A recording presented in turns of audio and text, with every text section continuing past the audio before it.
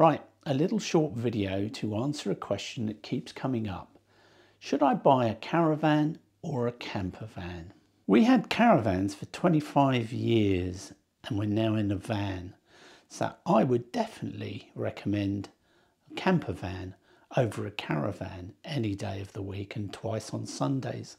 Now, if you're going to be staying on sites rather than wild camping like we do, then I would say there's not much in it.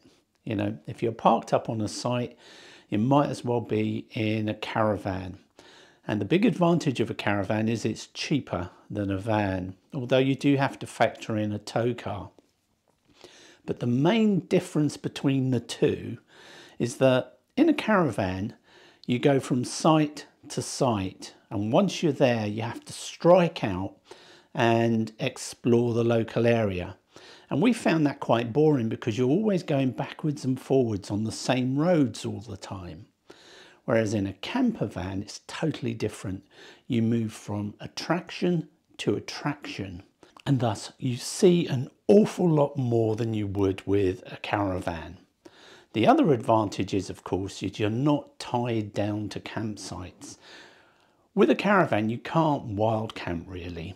You know, if you have to get up and drive off in a hurry, you've got to connect up the van, wind up the legs, do all sorts of stuff. Whereas with the camper van, all you've got to do is slide into the front seat and turn on the engine and go. When it comes to resale value, I think a camper van is going to hold its value much better than a caravan will.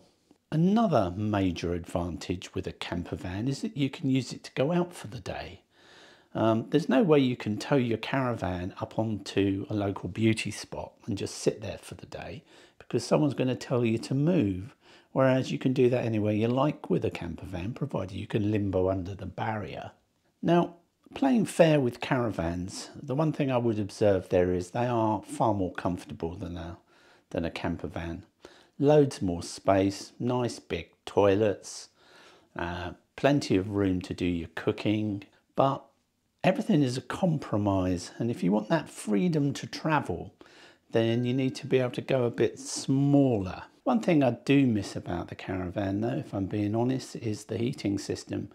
We had an Alde wet system and that kept the caravan so toasty warm and it was silent in comparison to the noise you get from a diesel or LPG heater in the camper van. Caravans are also very well insulated so it's possible to use them throughout the year, particularly in the depths of winter. You can do that in the camper van of course, but you're going to have to have that heating going full blast. If you're the type of person who likes to stay on campsites for an extended period, then I don't think you can really beat a caravan for that.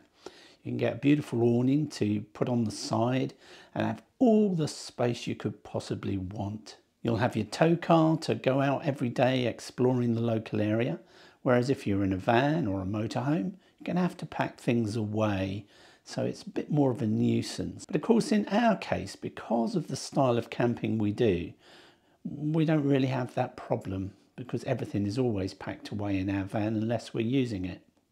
Now, another downside of a caravan is you've got to tow the darn thing, and that can be a bit hair-raising at times particularly if you're overtaken by a lorry on the motorway and it's nice and gusty and you get a little bit of a wobble on.